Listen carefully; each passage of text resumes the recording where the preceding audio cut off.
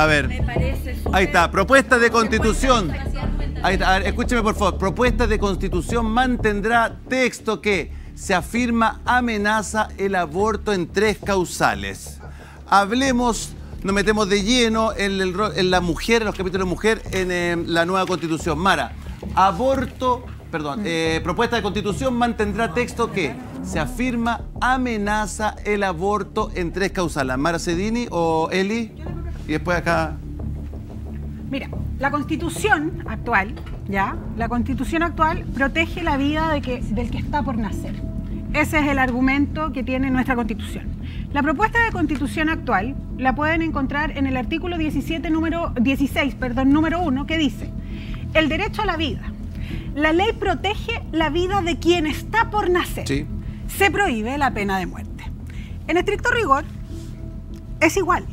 El objetivo y el verdadero sentido y alcance es el mismo. Tiene solamente una diferencia en relación a la discusión del, la- de la co- del comité político de la Convención Constitucional, que dice relación a una palabra. El comité de expertos señaló el qué Por está el por quién nacer está por nacer. y en base a las indicaciones y después posterior votación de la comisión de expertos y la, la comisión mixta, perdón, quedó en quién está, por, nacer. La discusión claramente tiene argumentos, va a depender del lugar en que usted se quiera parar. Pero legal, jurídicamente, no tiene ninguna, ninguna posibilidad de afectar El aborto en tres causales. el aborto en tres causales. Eh, Para nada. a ver, ma- a ver. Argumento jurídico, por favor. Porque no una Malú, posición Malú, Malú. personal. A ver. Bueno, primero que todo aclarar que los, los verdes regionalistas No, no, no, espérate, espérate, espérate. nunca fuimos parte del gobierno de Piñera. Primero aclarar eso. Otra cosa, usted habla de asesor, fue siendo asesor de obras públicas en el, Muchacho, en- arriba, que en el un poquito, gobierno ya de está haciendo su descargo. Ya vamos con el. Tranquilo, muchacho. Luego fue lobista en el gobierno de Piñera. Ya, pero necesito que volvamos al tema, contra. Malú, la traje Se para que caía hablamos el del país aborto. a pedazos y Piñera comiendo pizza. Ya, sobre, sobre lo que dice Eli Rodríguez. Bueno, primero, a esta, este borrador, este borrador pretende imponer No es un borrador. la moral a la élite de la élite religiosa. Malú, Pretende favorecer deje de corazón Bájale No, pero, pero, pero, a ver. Y No, Malú, Malú, constitucionalizar Malú. la AFP Malú, y la FISAP. No, no, a ver, a ver, Malú, Malú lo dijiste en un comienzo. A ver, aguántenme un poquito. Y Eso lo quieren eliminar aborto tres causales. Eh. Quieren eliminarla. A ver, aborto tres Hasta causales. la pastilla del día después. Ya, no, po- podemos permitir que retrocedamos en estos derechos que tanto A nos ver, espérense, a ver, Por espérense. A ver, aguánteme un poco, muchachos de producción. Aguánteme un poco. Nosotros trajimos, y voy a leer la presentación. Yo traje a Malú Magna, abogada feminista, miembro de la Asociación de Abogadas Feministas, y, y queremos hablar sobre el aborto tres causales. Necesito que se refiera al aborto tres causales. Claro. Solo eso. Pero sin leer la minuta.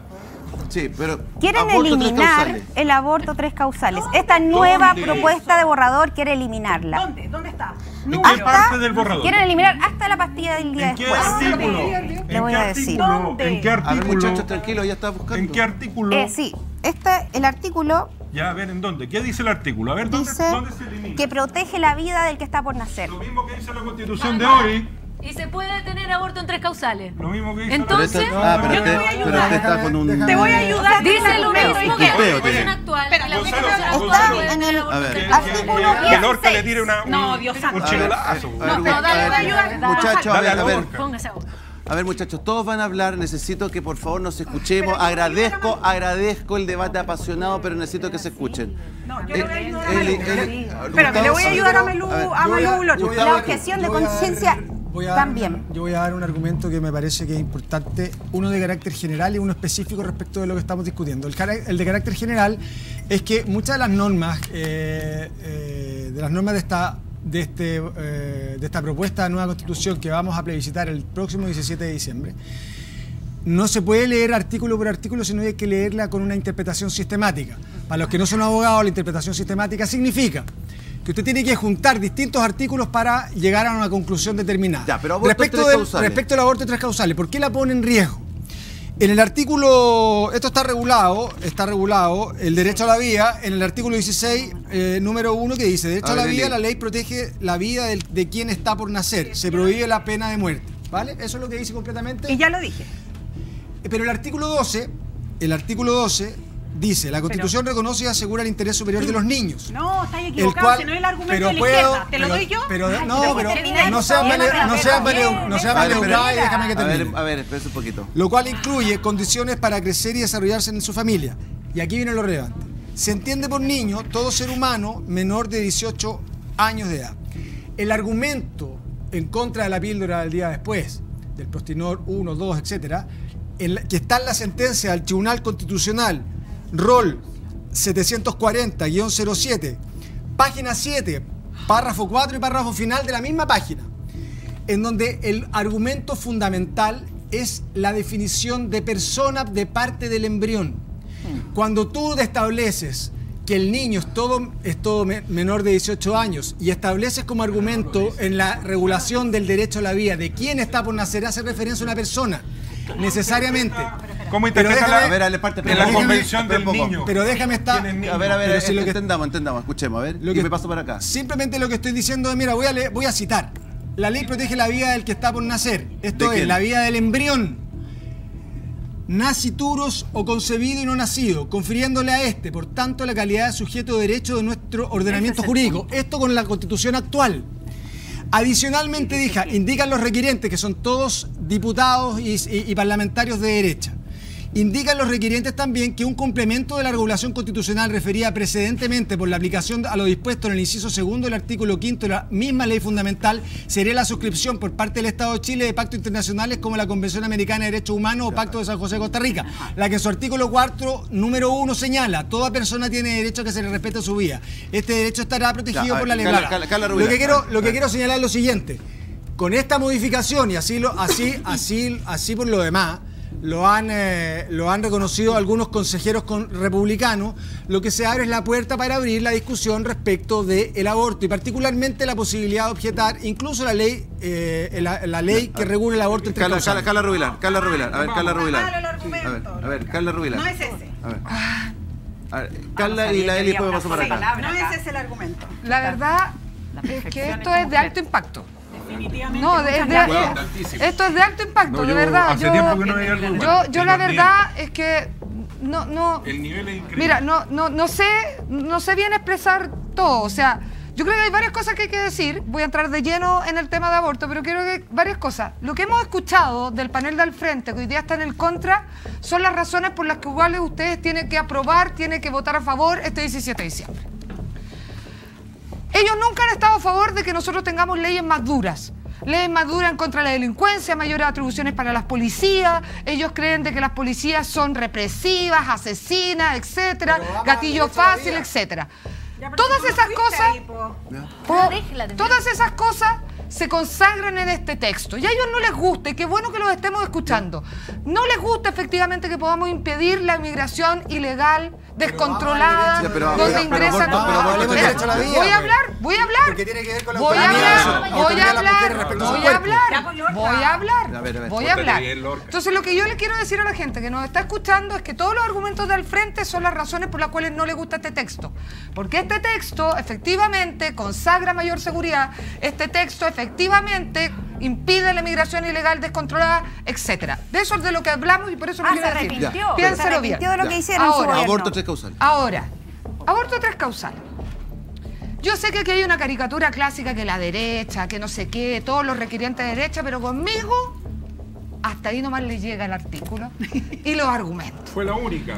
Voté a favor del Ahí aborto tres causales. Único voto de la Cámara de Diputados de derecha Así fue es. el mío. Me consta.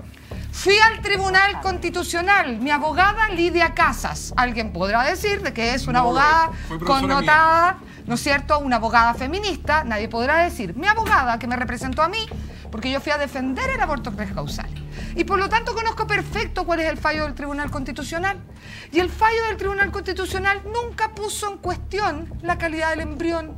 Querido Gustavo Lorca, usted es abogado. Estoy citando el gu- argumento, Nunca parece que no me escuchaste, pero lo que yo, yo- lo que yo, lo que yo Gustavo, dije es el Gustavo, argumento que la derecha, Gustavo, que la derecha Gustavo, que termine, que termine Carla. ver, Gustavo, Lorca, que termine Carla. El tribunal, entonces, de- entonces, ver, Gustavo, Gustavo, que termine- entonces usted, Parlamentario de tu sector. Gustavo, A ver, Gustavo, que termine Carla, usted- Carla. No hablemos de usted, hable de la bancada. A ver, espera un poquito. O sea, ¿De qué yo bancada? estoy hablando ¿Qué de él. hablando? ¿Qué Entonces bancada? ¿Qué está usted, hablando? entonces Esté usted, considerando. Dios mío. Déjela terminar. A ver, muchachos, ¿saben qué? De verdad. Necesito que se escuchen. Mar, ayúdame. Ale, parte, ayúdame. alguien. Yo no- Malú, Ah, ayúdame, por yo creo que hay favor. que mutear a alguien. Ya, eh, Carla. ya, entonces, usted está reconociendo de que está mostrando entonces los argumentos de algo que no falló el Tribunal Constitucional, que fueron los requerimientos que hizo un sector político y eso sí. Justamente, por eso ¿Y qué dijo el Tribunal Constitucional? Estoy Gustavo, diciendo- honestidad intelectual. ¿Qué Carla, dijo el Tribunal que- Constitucional? Mi, argumento, mi argumento, Carla, y por favor Pero, te pido, Gustavo, honestidad te pido- intelectual. Yo te pido rigurosidad. Rigurosidad. Yo lo que dije es, la modificación constitucional lo que permite estos dos artículos, interpretados conjuntamente, artículo 2 y artículo 16, número 1, lo que permiten es, rea- es reabrir y darle, y darle cabida No al argumento. Pero déjame terminar, pues. Pero es que tú me interrumpiste a mí. Pero te estoy, te estoy, te estoy debati- rebatiendo tu argumento. Contéstame, pero déjame Pero terminar. espérate, Carla, pero a ver, a ver, ¿tú terminaste? No he terminado. Ya, que termine Carla. Lo lógico es que yo pueda terminar. Termine. La honestidad intelectual es decir lo que falló el Tribunal Constitucional. Y lo que falló el Tribunal Constitucional es que nunca la- el tema en cuestión fue la calidad del embrión o del feto. Nunca fue ese tema en cuestión. El tema en cuestión es que sopesados los derechos de la madre y del feto en condiciones extremas, como eran las tres causales, la madre tenía el derecho. Daba lo mismo si era un qué o era un quién. Y eso es el fallo del Tribunal Constitucional y por eso es mentira. Créame a mí que yo sería la primera en estar completamente en contra si tuviera la más mínima duda, porque lo hice hace años cuando esto no era popular y no lo estaría haciendo ahora que tiene el 70% de aprobación. Entonces, créame a mí, no hay ninguna duda, ninguna posibilidad de que esta redacción ponga en cuestionamiento el aborto de tres causales. ¿Y qué es esto? Esto es un marketing de mentira para que las mujeres estén en contra de este proyecto constitucional que quiero decirle. Da derecho a las mujeres que no existen. Conciliación de vida laboral y familiar. igualdad de derechos. Igualdad salarial. Todo esto está aquí. Entonces, por favor, ¿esto qué es? Verónica, es un eslogan. Esto es algo porque están tocando Carla, un derecho. Por favor, están tocando un derecho muy sentido de las mujeres, que nos costó, y hablo de nos costó, porque yo tuve mi voto, yo fui al Tribunal Constitucional, que nos costó mucho. Entonces están tocando un tema súper sensible para tratar de ocuparlo políticamente para que voten en contra. Yo le aseguro que no hay ningún cuestionamiento, ninguna duda al respecto del aborto tres causales, está completamente consagrado en este proyecto constitucional. A Ni ver, una Verónica, sola. Verónica. Sí, yo solo primero agradecerle a Carla Rubilar su voto porque efectivamente fue la única mujer de derecha en la Cámara y en ese minuto un voto era muy importante para poder haber ganado esa ley. Lili Pérez hizo lo mismo y también fue una aliada Así y eso hay que reconocerlo, al menos nosotras las feministas o yo en particular lo reconozco. En segundo término le quisiera pedir a Eli que bajara un poquito las revoluciones porque la verdad es que no nos deja escuchar tampoco a las panelistas del otro lugar cuando están hablando, si pudieras dejar de hacer tantos comentarios durante incluso la palabra del resto para poder estar más atenta a lo que el resto dice y poder responder. Eh, Discrepo del qué y el quién, Carla, porque efectivamente el quién le dota de una, y es lo que nosotras creemos, ¿no? De una personalidad, de una calidad que el artículo anterior o como estaba versado anteriormente no le da. Una agencia de persona que el quién no es solo un concepto, no es semántico, Eli.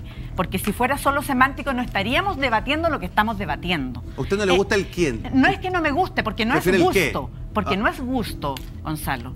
Es derechos. Ya. El quien dota a ese embrión de una agencia y una calidad de persona la que se ha solo hecho que ha usado reconocida. en otros países, porque nosotras nos vivimos en una isla, que se ha usado en otros países para exactamente retroceder en los derechos de las mujeres en, y personas que gestan, porque también hay hombres que se embarazan, eh, personas trans, por supuesto, si es que no los reconocen. Son hombres, por eh, Son trans. pero los, ¿Usted no está reconociendo los trans? hay personas que se llaman a sí mismos. A ver, la, la identidad de género es la autodenominación del género. Ah. Entonces, si O sea, ellos se no quieren, si ellos quieren llamarse mujeres o hombres o trans, es su decisión. Yo no me tengo por qué meter, así como tampoco opino de su cuerpo. El punto es el quién. Y el quién da dota de una agencia de persona a algo que antes no estaba en el qué, Eli. No es semántico. es un para nosotras es una agencia, una palabra que constituye un elemento que genera una condición de persona que El- además el quién. el quién que además Ya. ha sido usado en otros países para exactamente lo mismo, echar abajo abortos con sea, causales que han Ya, intentado retroceder Mara, solo ¿tú por esa para No, él es solo que- concepto. Es que podemos estar 200 horas discutiendo entre el que Sería nosotras creemos y interpretamos versus Pero lo- lo, lo- que decretó el Tribunal Constitucional. Pero estamos o sea, hablando de la no, hora, ver, querida, no de lo de antes. que termine Mara, por favor. pero, no, pero, actual, no pero te están, pero te Verónica, están- Verónica, que- que te están explicando, te están explicando que el fallo Alejandra, constitucional, Alejandra, que el Alejandra. fallo constitucional A ver, a ver, a ver, a ver. no estaba Eh, determinado a ver. por eso. Verónica, a ver muchachos, No, arriba en el switch, estoy eso. escuchando todo lo que me están diciendo. No griten, sé que tienen que callarse para que hable Mara.